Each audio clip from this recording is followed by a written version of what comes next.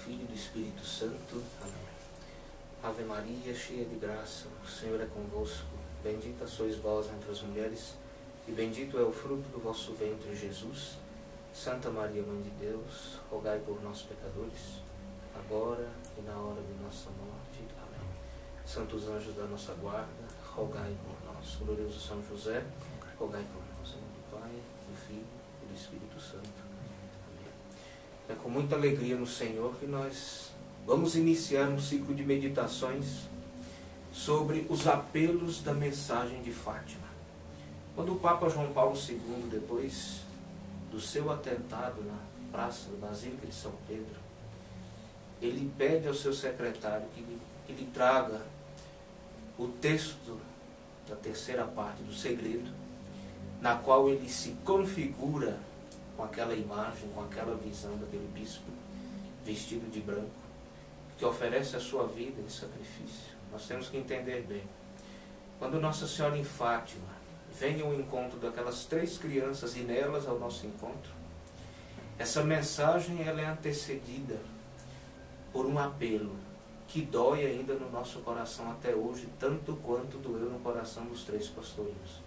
Não ofendam mais a Deus, porque ele já está muito ofendido.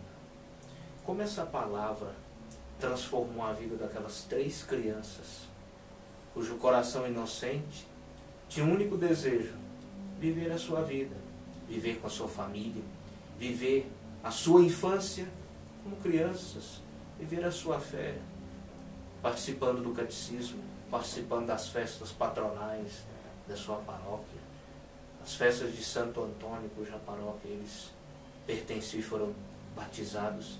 Nossa Senhora então vem ao encontro daquelas crianças para quê?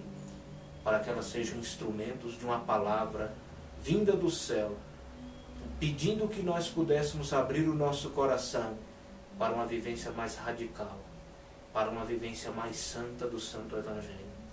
Nossa Senhora vem à cova da Iria para pedir que nós cumpramos o primeiro mandamento da lei de Deus, como diz Sagrada Escritura, com toda a nossa força, com todo o nosso entendimento. Então, Nossa Senhora escolhe Francisco, Jacinta e Lúcia. Logo depois das aparições, Francisco e a Jacinta são levados para o céu, cumprindo também aquilo que Nossa Senhora já havia dito, que os levaria logo para o céu. E é muito bonito nós enxergamos quando Nossa Senhora diz a eles: Quereis oferecer vossa vida a Deus e suportar e aceitar todos os sofrimentos que a providência divina vos há de enviar. Eles disseram sim. E até o fim, Francisco e Jacinta suportaram como santos, como heróis na fé, a sua doença corporal, oferecendo cada ato, cada segundo de sua dor, cada dor vivida e sentida pela conversão dos pecadores. Depois a mesma senhora, mais brilhante que o sol, como assim dizem os escritores de Fátima, diz a irmã Lúcia: Tu ficarás cá na terra ainda algum tempo, porque Deus quer servir-se de ti para estabelecer no mundo a devoção ao meu imaculado coração.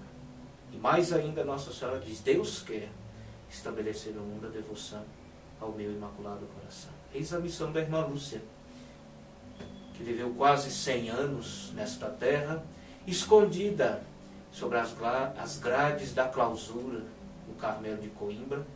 Ali, a irmã Lúcia ofereceu sua vida em sacrifício, em imolação, em silêncio, no escondimento. Mas, ao mesmo tempo, o mundo todo procurava da irmã Lúcia uma palavra para que os ajudasse a entender melhor as mensagens de Fátima. Pois ela depositária dos segredos, ela depositária desta visão e a primeira a viver a mensagem de Fátima. Todas as pessoas do mundo começaram a escrever a irmã Lúcia, ou seja, encher o Carmelo de cartas, de questionamentos, de buscas para entender melhor as mensagens, o porquê que Nossa Senhora veio ao mundo, o porquê Nossa Senhora pediu que rezássemos o texto. O porquê Nossa Senhora falou sobre a Rússia. Por que Nossa Senhora indicou o texto como um caminho como uma arma para o fim das guerras. Então a irmã Lúcia solicitou Santo Padre, Papa João Paulo II no tempo, que ele a desse licença para que ela pudesse responder em forma de livro todos esses, todos esses questionamentos, todas essas perguntas. Então, essa é a nossa missão a partir de hoje.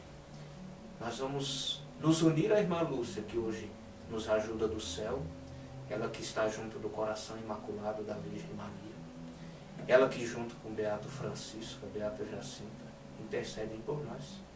Nós vamos pedir que ela nos ajude a corresponder aos apelos da mensagem de Fátima. Então esse livro são todas as respostas que a irmã Lúcia, inspirada por Deus, em forma de livro, coloca em nossas mãos para quê?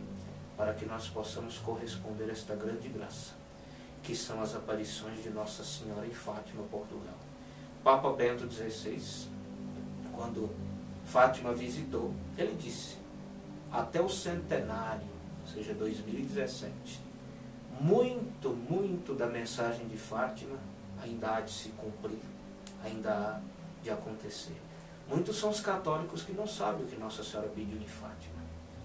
Às vezes nós simplesmente nos atemos aos segredos, cujos próprios segredos nós também, ora não os entendemos, ora não sabemos tal qual os pastorinhos viram e depois a irmã Lúcia deixou escrito em suas memórias, tanto quanto nós não sabemos também aquilo que o anjo da paz, São Miguel, um ano antes da aparição de Nossa Senhora, pediu aos três pastorinhos. Depois a própria Virgem Maria, em cada visita sua, em cada 13, desde maio a outubro, Nossa Senhora foi conduzindo aquelas três crianças rumo ao céu, numa escola de santidade. Nossa Senhora os ensinou a rezar. Nossa Senhora os ensinou a falar com Deus através da oração. Nossa Senhora entregou a eles o Santo Rosário, para que no Rosário eles pudessem conhecer o seu Filho Jesus. Para que pelo Rosário eles pudessem configurar a sua vida, a vida de nosso Senhor Jesus Cristo. Quanto amor ao Santíssimo Sacramento, o Beato Francisco consumiu seu coração. Quanto amor aos pecadores consumiu o coração da Beata Jacinta. Quanto amor a Nossa Senhora consumiu o coração da serva de Deus, a Lúcia, do coração imaculado de Maria. Esse mesmo amor que consumiu a vida dessas três pessoas escolhidas pelo céu, esse mesmo amor deve hoje consumir também o nosso coração, tal qual uma fagulha que causa um grande incêndio. Assim a mensagem de Fátima, quando acolhida num coração, torna essa pessoa tal qual, tal qual uma grande fogueira, que se consome e que ilumina. A nossa vida ela só tem sentido se ela for colocada nas mãos de Deus. Em Fátima, então, Nossa Senhora nos ensina como agradar a Deus. Em Fátima, Nossa Senhora nos ensina a obedecer os mandamentos. Então, a partir de hoje, Nossa Senhora nos dê essa graça, que ela possa encher o nosso coração desse santo desejo, para que nós possamos corresponder aos apelos da mensagem de Para melhor nos ajudar nessa vivência, nós teremos 20 pequenas formações.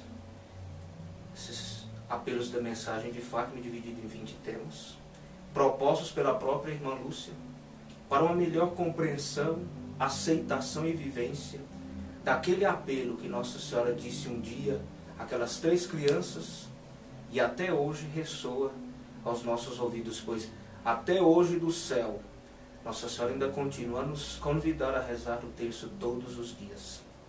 Até hoje do céu, os pastorinhos, junto de Nossa Senhora, junto do anjo da paz, ainda continuam a nos dizer: não ofendam mais a Deus, que já está muito ofendido. Então, assim, se dividem os apelos da mensagem de Fátima. Primeiro, o apelo à fé. Depois, o apelo à adoração. Apelo à esperança. Apelo ao amor de Deus. Apelo ao perdão. Apelo à oração.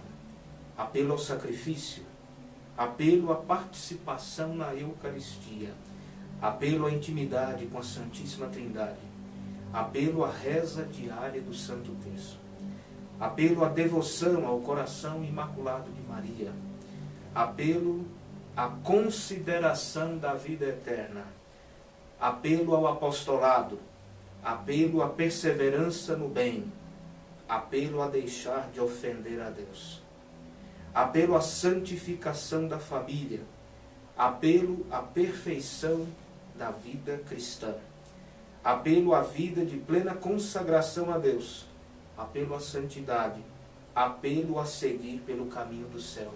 Então vejam, irmãos, desde a vida espiritual pessoal, a vida espiritual comum, as famílias, aos sacerdotes, aos clérigos, às pessoas que trabalham em todas as almas que ardem num desejo de santidade.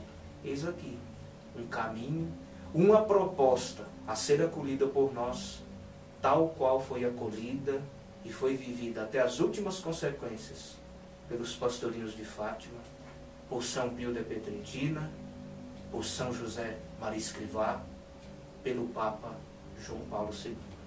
Em nome do Pai, do Filho e do Espírito Santo.